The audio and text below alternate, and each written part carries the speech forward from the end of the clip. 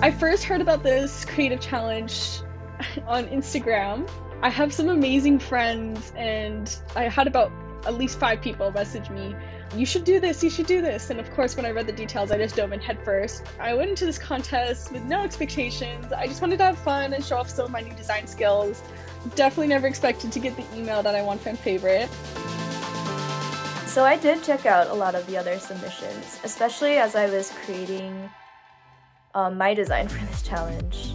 I think that it's really interesting to see the diversity of ways people interpreted this creative challenge and also seeing what people gravitate towards when they're given a set of assets to work with.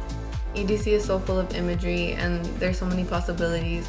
I kind of wish I would have been able to submit 10 different ideas. The inspiration behind my design was the mythological bird, the phoenix, which rises up from the ashes when there are there is a catastrophe or a difficult time, and then it comes back stronger and more powerful. And I sort of wanted to symbolize what this past two, three years have been for everyone. Hopefully, we're coming back stronger than before. So the first step was to go through the EDC's asset library where I picked my favorite color palette.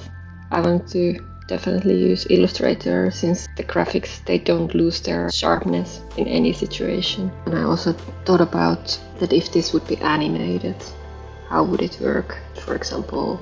And it would look almost like a lighthouse.